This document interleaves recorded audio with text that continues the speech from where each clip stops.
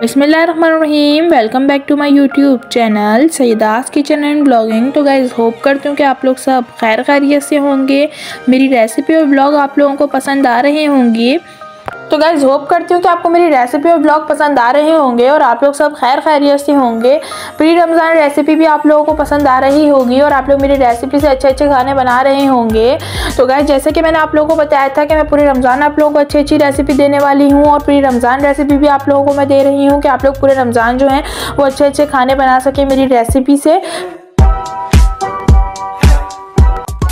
तो गैस तो गैस अब आप लोग देख सकते हैं, मैंने एक तसला ले लिया है। आज मैं आप लोगों की खिदमत में बंद गोभी का न्यू स्टाइल में सलाद बनाने की रेसिपी लेके हाजिर हूँ। तो मैंने बंद गोभी जो है, वो जल्दी जल्दी कट कर ली है। बंद गोभी कट करने के बाद मैंने इसके अंदर एक प्याला जो है, वो दही शामिल की है। दही शामिल करने के बाद तकरीबन टू टेबल स्पून लहसुन अदरक का पेस्ट शामिल किया है। उसके बाद हसब ज़रूरत नमक और मैंने इसके अंदर तकरीबन टू टेबल स्पून चीनी शामिल किया है।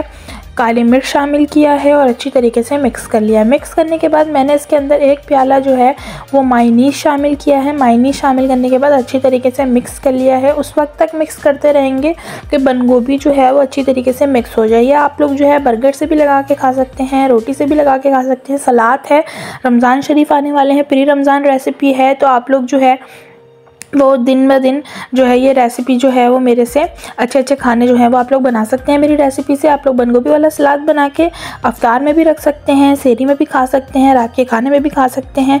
आप लोग ज़रूर बना के खाइएगा, काफ़ी अच्छा और काफ़ी तो गैज़ आप लोग देख सकते हैं बंद गोभी वाला माइनीज़ वाला। तो गैस आप लोग देख सकते हैं बंद गोभी वाला सलाद जो है, वो रेडी है। आप लोग ज़रूर अपने घर में बनाइएगा और मुझे कमेंट सेक्शन में बताइएगा।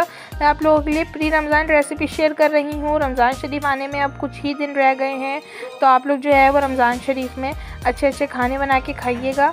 और यहीं से मैं अपनी रेसिपी को एंड करूँगी। बंद गोभी का सलाद जो है माइनीज़ वाला, वो रेडी है।